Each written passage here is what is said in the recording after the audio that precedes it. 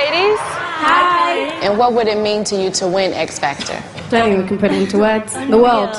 The world. Let's hear it.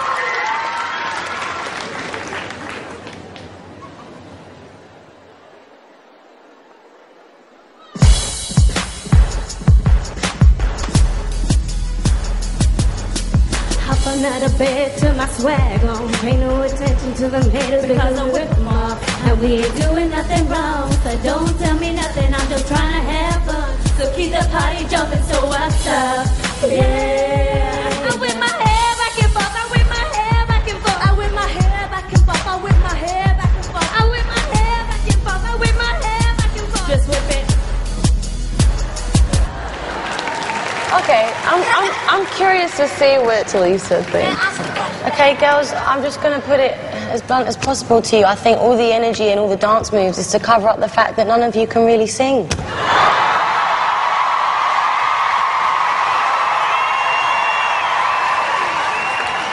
it's a bit rich coming from you, but.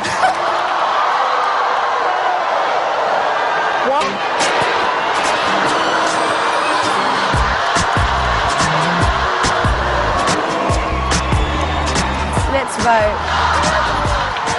May I just say one thing? Coming from a female group that always talks about how women should come together and they shouldn't be bitchy towards one another, I understand that you have an opinion, but at the same time, you came here for us to judge you. And there was no reason for you to come back at like that. And I can understand, I can tell these two don't appreciate the fact that you did that because what if you just messed up their chances for an opportunity? There's a group. You know what? Guys, I think we should just vote. I'm going to start with Gary. It's no. An absolute massive, massive no!